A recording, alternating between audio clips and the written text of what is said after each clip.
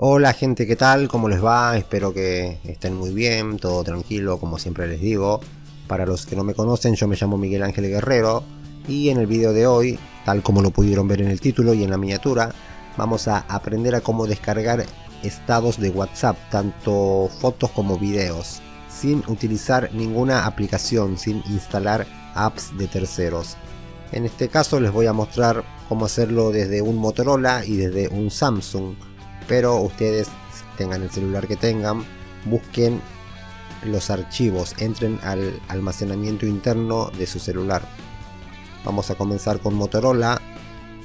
Vamos a entrar en los archivos, en este caso es Files, aquí. Y tal como lo expliqué en un video anterior, hay que mostrar los archivos ocultos para que podamos ver todo eso. En el caso de Motorola, tocamos acá en las tres líneas horizontales de arriba. Ahora entramos en configuración. Suscríbanse a mi canal antes de que se vayan no se olviden. Activen la campanita de notificaciones para que youtube les avise siempre que yo suba videos. Compartan el video también dejen un like un comentario y vayan a ver esto que les voy a dejar por acá que de seguro les va a resultar muy pero muy útil.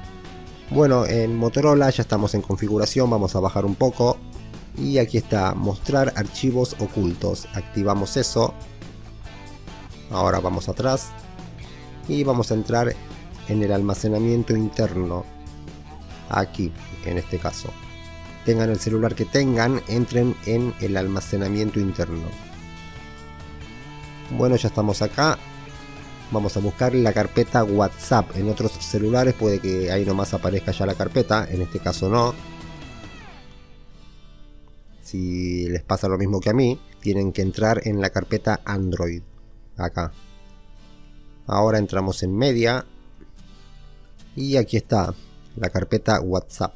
Vamos a entrar ahí. Recuerden que ya activamos la opción para mostrar los archivos ocultos, que sí o sí hay que hacerlo.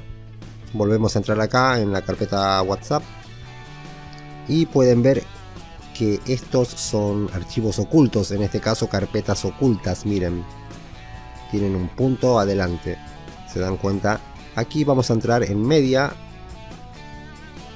Y aquí está miren estados. Hace una hora aparece un poco borroso el icono porque es una carpeta oculta. Entramos ahí. Y tenemos los estados o las historias de whatsapp como algunos le llaman. Vamos a ver el ejemplo con un video.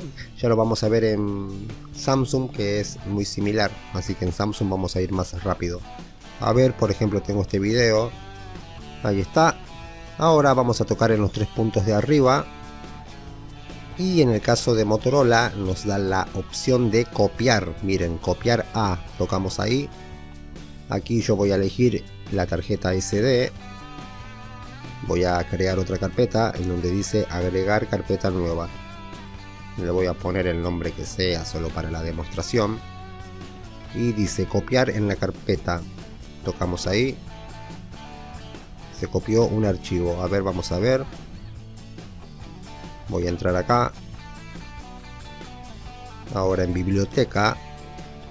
Y ahí está miren la carpeta que había creado con el estado de whatsapp con el video.